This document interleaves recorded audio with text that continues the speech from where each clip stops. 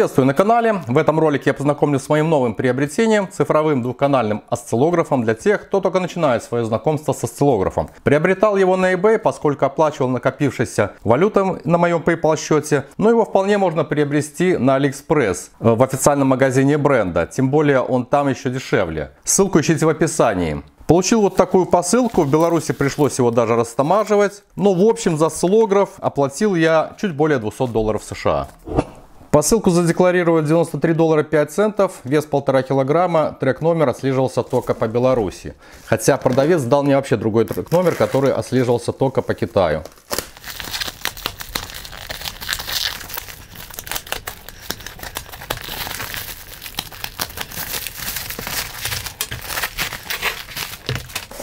Так, и еще коробка.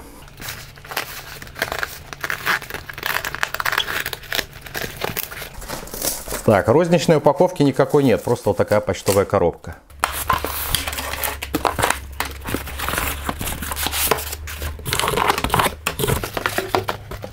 Полный комплект на экране. В него входит осциллограф модель FNIRSI 1014D.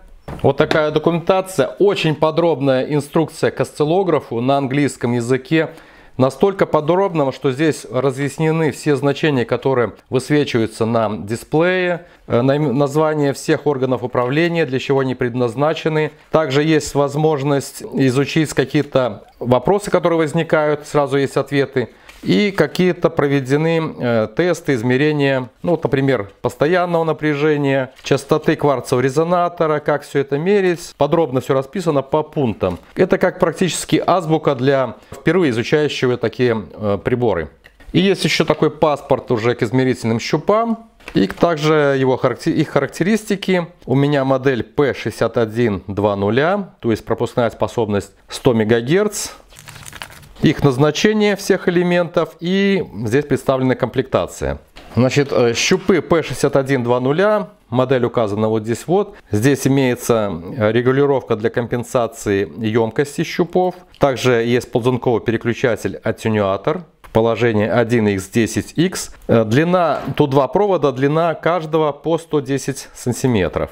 Так, э, не сказал, что здесь коннекторы типа BNC. Такой же провод, только длиной 50 сантиметров, коннектором BNC и двумя зажимами типа, типа крокодил. Это используется для встроенного генератора, выход встроенного генератора. Далее есть два таких провода по полтора метра э, с коннекторами USB-A. Это для синхронизации с компьютером. И провод питания USB-A на DC5525. Отдельного адаптера или блока питания в комплекте не было. И небольшой пакет еще тут с элементами, которые, как я сказал, расписаны, их комплектация расписана здесь. Это есть отвертка для регулировки компенсации щупов. Дальше вот такие втулки. Не понял их назначение, что-то для удобства подключения вот этих зажимов. Но конкретно как их использовать я нигде не видел. И есть еще маркерные кольца, всего их 4 пары. Тут еще 2 пары. И по 2 пары я уже отделал на щупы. Вот синие, синие и красный с красным. То есть во всего 8 маркерных колец. Так, и есть такой чехол, где, в принципе, можно хранить всю комплектацию, не только документацию. Тут все, в принципе, вся комплектация сюда войдет. Вот и все. Прибор имеет пластиковый корпус, на задней стенке размещены его технические параметры и габариты 310 на 145 и на 70 мм. Здесь же размещен разъем питания. Внутри корпуса скрывается единственная печатная плата, в моем случае с качественной пайкой, на которой установлен графический чип F1C100S с ядром процессора ARM926EJ и 32 мегабайтами встроенной памятью DDR. Далее интерфейсом управляет микроконтроллер GD32E230 на ядре ARM Cortex M23 и основной процессор здесь никак не обозначен. В, в качестве памяти для сохранения данных сигналов используется microSD карточка объемом 8 гигабайт класса U3. А в цепи входа каждого канала установлено по оптопаре и по 3 реле. Так печатная плата выглядит со стороны энкодеров. Так, и вот внутри резиновые кнопки и дисплей. Модель дисплея также здесь указана, свеженький от 8 июня 2021 года. Питание на печатную плату подается через этот разъем, вот со стороны задней крышки. Осциллограф оснащен ручкой, которую можно использовать при переносе, а также в качестве упора. Снизу есть еще 4 упора. Два из них складываются как упоры компьютерной клавиатуры. При этом устройство можно использовать под небольшим наклоном. Вес прибора 960, ну, 970 грамм. Питать можно от источника 5 вольт и током 1 ампер. Можно использовать зарядное устройство от смартфона или Powerbank. Последний, кстати, рекомендую, потому что помехи и сети не будут искажать регистрируемые сигналы в каналах при использовании некачественных адаптеров питания. Включается устройство нажатия на синюю кнопочку Power. При загрузке высвечивается логотип в NIRSI. И через 5 секунд прибор готов к работе. Осциллограф оснащен ЖК-дисплеем с соотношением сторон 15 на 9 сантиметров, соответственно диагональ получилась 17,5 сантиметров. Заявлено разрешение 800 на 480 пикселей, экран матовый, ничего в нем не бликует и яркости его вполне достаточно для комфортного отображения под любым углом. Все органы управления и интерфейс расположены исключительно на фронтальной панели. Ручки энкодеров пластиковые, кнопки резиновые. В моем осциллографе энкодеры только вращаются, но не нажимаются. В верхней части расположены органы управления, имеющие функции общего назначения. Ручка энкодера и расположенные справа от нее кнопки со стрелками и кнопочка ОК используются для управления практически всеми меню. Под ними, над соответствующими разъемами, имеющими цветовую маркировку, расположены органы настройки первого и второго канала и отдельный разъем выхода сигналов генератора. Перед использованием потребуется откалибровать прибор. Основное меню вызывается одноименной кнопкой и с помощью кнопки вниз или с поворотом энкодера перехожу к пункту базовая калибровка. Подтверждаю кнопочкой ОК. Убеждаюсь, что щупы не подключены и еще раз нажимаю на эту кнопку. Происходит калибровка прибора под условия, в которых он работает. Готово. Для наглядности подам тестовый сигнал генератора на один из каналов осциллографа. Кнопкой авто выбираются оптимальные настройки прибора для регистрации сигнала и отображения его на дисплее. Меню генератора вызывается синей трапециевидной кнопкой GEN. Генератор имеет в памяти 14 сигналов различной формы и один сигнал пользователя, который может быть захвачен и сохранен в памяти осциллографа. Можно сохранить до 1000 сигналов. И также доступно изменение частоты генератора от 1 Гц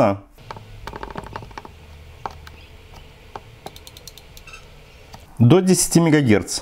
Размах сигнала в пределах 2,5 вольт. Перед тем, как проводить какие-либо измерения, нужно отрегулировать компенсацию входной емкости щупа. Для этого с генератора подам поочередно на каждый канал опорный сигнал прямоугольной формы. Меню позволяет изменять скважность прямоугольного сигнала от 1 до 99%. Но верну на 50%, когда положительные и отрицательные полупериоды имеют равную длительность.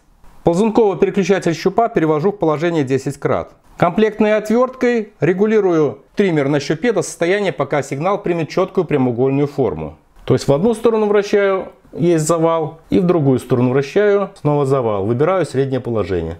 Где-то так. То же делаю и для второго канала. Органы управления, сгруппированы по назначению, имеют цветовую маркировку. Осциллограф имеет два канала регистрации и генератор сигналов. Напомню, что пропускная способность каждого канала и соответствующего щупа 100 МГц. Несколько неудачная здесь цветовая маркировка, но к ней легко привыкнуть. Так, для первого канала используются кнопки управления и маркер на экране желтого цвета, а выход отмечен оранжевым. Для второго канала все верно, все синим цветом, включая маркер, Зеленым цветом обозначен выход генератора и одновременно маркер синхронизации. Но кнопка вызова меню генератора уже почему-то синего цвета. Над входами каждого канала, соответственно, в серую рамку сгруппированы органы регулировки по вертикальной оси напряжения. Это регулировка размаха сигнала и его перемещения. И кнопки включения канала и его меню, которое позволяет выбрать делитель аттенюатора, открытый или закрытый канал, и вывести на дисплей спектр сигнала. Это результат быстрого преобразования Фурье. Правее также серой рамкой сгруппированы органы регулировки по оси времени, для того, чтобы сжимать и растягивать сигнал и перемещать его по горизонтали. Здесь же зеленая кнопка быстрого возврата в начальное положение, то есть к центру дисплея метки H. И здесь уже с краю в серую рамку сгруппированы органы управления синхронизацией. Замечу, что входа для подачи сигнала внешней синхронизации осциллограф не имеет. Синхронизация, или как она здесь обозначена, триггер, имеет три режима. Автоматический, однократный и нормальный, который циклично переключается кнопочкой мод. Кнопкой Edge в режиме нормальный можно выбрать синхронизацию по нарастающему фронту сигнала или по его спаду. Если на дисплее одновременно регистрируются два разных сигнала на обоих каналах, то кнопкой CHX выбираем канал, по сигналу которого осуществляется синхронизация. Этой ручкой регулируем напряжение синхронизации. Кнопкой 50% выбираем установку 25, 50, 75% напряжения. Только в том случае, если в основном меню не установлен пункт автоматически 50%. Его нужно выключить. Те значения сигналов, которые вы бы хотели отобразить на дисплее, можете задать шестью функциональными кнопками. Можете назначить по несколько кнопок для первого и второго канала или все шесть кнопок для одного канала. По умолчанию эти функции поделены поровну между каналами для первого канала и для второго канала. И отображают пиковое напряжение, проще говоря, размах сигнала, максимальное напряжение и частоту сигнала. В верхней строке дисплея отображается режим воспроизведения сигнала на дисплее в реальном времени или в режиме паузы. Он включается-выключается красной кнопочкой Run Stop. Далее режимы синхронизации, позиция метки триггера. Режим быстрой или медленной настройки, которая переключается кнопочкой Slow. И далее для двух каналов это положение аттенюатора, значение деления мерной сетки на экране и позиция маркера для первого и второго канала. Вот если перемещаю, желтый пошел вниз, соответственно позиция изменилась. Если менять масштаб времени, соответственно меняется значение в левом нижнем углу и положение метки H. Прибор позволяет наблюдать на дисплее фигуры лисажу, которые получаются, когда два гармонических колебания совершаются в перпендикулярных направлениях. Возле разъемов BNC есть соответствующие пометки. Сигнал первого канала подается на ось X, сигнал второго канала подается на ось Y. Я подал два сигнала с двух разных генераторов, они разные амплитуды, одинаковой частоты по 10 кГц, но фазы отличаются. В основном меню активирую режим кривой XY. Вот он, подтверждаю кнопкой ОК. Окей. Включаем. И нажимаю на кнопку меню. Если менять фазу, частоту и амплитуду сигналов, получаем различные фигуры. Используется для настройки основного сигнала на опорный. Добивается отображения эллипса при равенстве частот. Для удобства измерения можно вызвать курсор по оси напряжения и курсор по оси времени. На дисплее появляются две пары горизонтальных и вертикальных э, таких штриховых линий. И также дополнительное окно со значениями. Эти значения независимы от представленных в этом столбце. Курсорные линии можно перемещать с помощью энкодера. Вот которая помечена Select выбрана, то и перемещаем. Например, вставляем ее на вертикальную ось нулевую. Переключение между вертикальными линиями осуществляется кнопками влево-вправо. Выбираем правую линию вертикальную. Также ее можно вращать. Вращая энкодер, можно вот выставить период этого сигнала. Здесь у нас получилось время 100 микросекунд. То есть от этого курсора до этого 100 микросекунд. Это верно, потому что деление сетки составляет 50 микросекунд. 50 и 50, 100 микросекунд. Переключение между горизонтальными курсорными линиями осуществляется кнопками вверх-вниз. Например, выбираем нижнюю, дальше энкодером поднимаем, например, ее сюда кверху на нулевую метку. Выбираем следующую, вот она выбрана, и делаем, например, максимум сигнала. Так, и у нас напряжение максимальное, здесь получается 1,35 вольта. Это также верно, потому что у нас деление сетки составляет 500 милливольт. То есть у нас получается две клетки, это по 500, это 1 вольт. И еще чуть выше, тут 1,35 получается вольта. Повторным нажатием на эти кнопки выключаем курсорные линии. Данная кнопка служит для э, сохранения скрина экрана, то есть картинки. Эта кнопка для сохранения всего сигнала с его данными. Просмотреть сохраненное можно на, э, в основном меню, вызываем основное меню и в первой закладке Pictures Browsing вызываем кнопкой ОК. Вот сохраненные наши сигналы. И уже эти картинки, сохраненные в формате BMP, мы можем делиться в сети, выкладывать в паблики. Ну, например, вот можно переключать влево-вправо стрелками, вверх-вниз. Выбираем ОК наш сигнал. При сохранении именно как картинки мы не можем с этим сигналом ничего делать. То есть он никак не реагирует на энкодеры. А в следующей закладке сохраняется уже сигнал. Любой сигнал. Также можно переключать кнопками влево-вправо, вызываем его. И уже в этом случае с этим сигналом мы можем работать. Можем его растягивать, сжимать, по вертикали изменять. То есть как-то его анализировать со всеми его значениями здесь. Ряд нижних белых кнопок используется для управления меню сохраненных сигналов. Например, входим в меню, где сохранены скрины. Кнопочкой Select мы можем какой-то из них выбрать. Ну, допустим, вот этот, вот этот. То есть одиночные сигналы. Можно выбрать, выбрать все сигналы. Можно их все удалить и переключить на следующую страницу сохраненных сигналов, то есть предыдущая и следующая страница. Как я и сказал ранее, можно сохранить до 1000 таких вот э, картинок. Основное меню позволяет регулировать яркость дисплея от 0 до 100%. И яркость разметочной сетки также от, от 0 до 100%. И есть возможность выбрать настройки по умолчанию. А теперь я покажу, как сигнал, который регистрирует осциллограф, использовать в качестве кастомного выходного сигнала встроенного генератора. Например, подал вот такой сигнал частотой 1 кГц, размах 2,47-48 вольт. Далее, для того, чтобы записать в память осциллографа, необходимо перейти в основное меню и выбрать пункт Capture Output. Можно использовать весь сигнал, однако здесь мы видим вот тут раз, два, три, четыре, пять, шесть, семь даже периодов, но частота выходного сигнала будет кратна частоте вот этих регистрируемых периодов. Если здесь 1 кГц, то будет в 7 раз выше. Если мы берем один период, то частота будет совпадать. Ну понятно. Если 2, то в 2 раза будет увеличено, 3 в 3 раза. Итак, выделяем один период, ну, выделяем аналогично, то есть та вертикаль, которая обозначена селек, перемещается вот таким вот образом. Далее переключаем на следующую и также вращаем, перемещаем ее. Здесь, как видите, вот эта вертикаль обозначена э, рисками напряжения. То есть выходной сигнал, не будет его размах не будет превышать, ну, в обе части по 1,2 вольта, то есть не более 2,4 вольта. Итак, выделили период. Кстати, здесь он отмечен, что это сигнал подается на первый канал и он периодичный. Здесь цикл отмечено. Так, и нажимаем кнопочку ОК. И далее покажу, что если мы берем два периода сигнала, то частота на выходе будет в два раза превышать частоту на входе. Сохранить. И далее вхожу в меню генератора и выбираю кастомный сигнал. Снова вхожу в основное меню и выбираю пункт Output Browsing. Вот один период, вот два периода. Возьмем сначала сигнал с одним периодом, выхожу из меню. Получаем частоту 1 кГц и размах 1,58 вольт. Аналогично выбираю следующий сохраненный сигнал, два периода. И у нас частота уже удвоенная, 2 кГц. Размах 1,60 вольта.